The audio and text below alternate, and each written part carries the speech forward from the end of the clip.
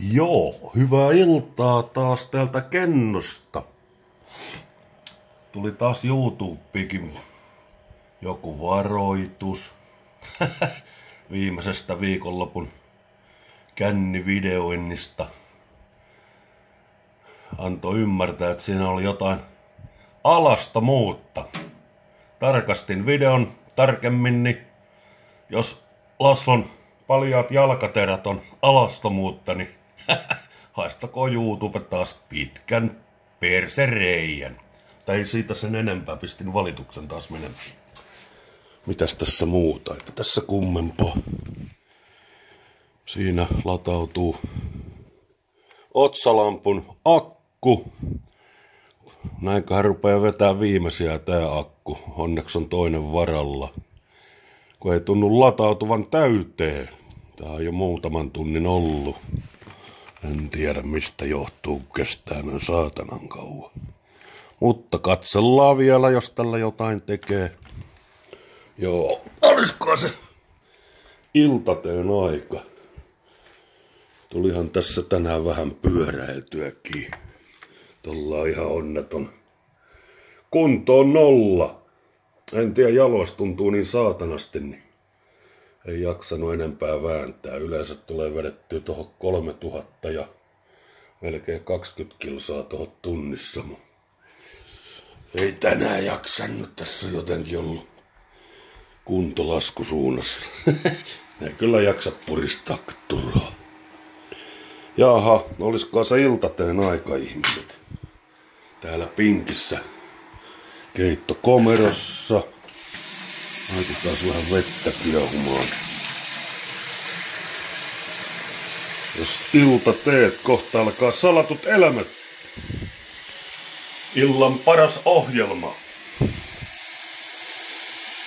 Joo, onko se nyt maanantai vasta?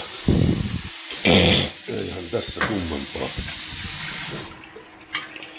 Kummempaa.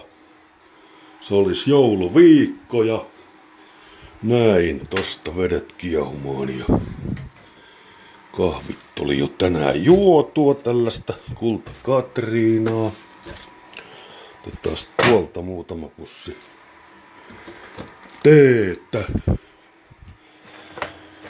Yhdellä kädellä tämä on vähän hankalaa. Otetaan tosta. Kolme pussia riittää hyvin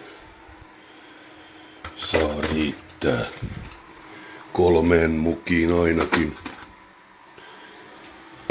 Mitäs täällä jaksetaan? Silitkin kukkii. On sieltä jotain tulossa.